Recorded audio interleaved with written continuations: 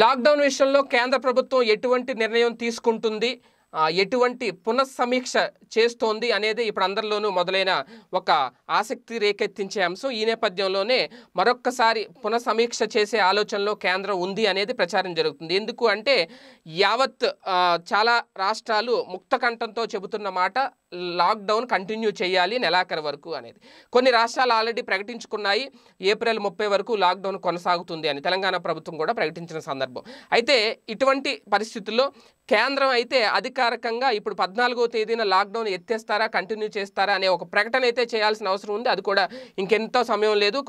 చేయాల్సిన అవసరం ఉంది. ఈ నేపథ్యంలోనే మొత్తం కొన్ని జోన్లుగా అంటే లాక్డౌన్ ఎత్తివేస్తారా లేదంటే కొన్ని నిబంధనలతో కొన్ని ప్రాంతాలకు మినహాయింపిస్తారా లాక్డౌన్ నుంచి అనేది కూడా ప్రధానంగా జరుగుతున్న సమాచారం ఆ, ప్రచారం ఈ నేపథ్యంలోనే ప్రస్తుతం దేశవ్యాప్తంగా చూసుకుంటే నాలుగు వందల ముప్పై జిల్లాల్లో లాక్డౌన్ ప్రభావం పూర్తిగా లేదు ఆ ప్రాంతాల్లో లాక్డౌన్ ఎత్తేయాలి అనే ఆలోచనతో కేంద్రం ఉంది అనేది ఒక సమాచారం. ఎందుకంటే ఇప్పటికే కొన్ని రాష్ట్రాల ముఖ్యమంత్రులు సూచించిన విధంగా లాక్డౌన్ ప్రభావం ఎక్కువగా ఉన్న ప్రాంతాన్ని రెడ్ జోన్గా తక్కువగా ఉన్న ప్రాంతాన్ని ఆరెంజ్ జోన్గా అసలు లేని ప్రాంతాన్ని గ్రీన్ జోన్గా గుర్తించాలి అని. ఆ గ్రీన్ జోన్గా గుర్తించే జిల్లాలు నాలుగు వందల ముప్పై జిల్లాలు ఉన్నాయంట దేశవ్యాప్తంగా.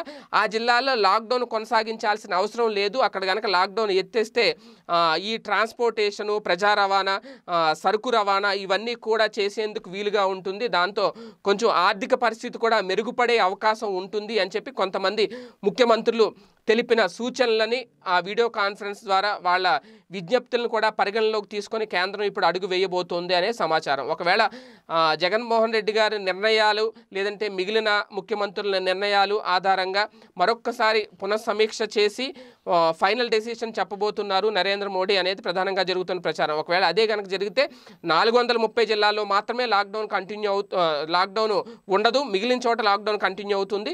నాలుగు వందల ముప్పై జిల్లాల్లో కంప్లీట్గా లా లాక్డౌన్ ఎత్తేసేందుకు కూడా నిర్ణయం తీసుకోబోతున్నారు మోడీ అనేది కూడా ప్రధానంగా జరుగుతున్న ప్రచారం.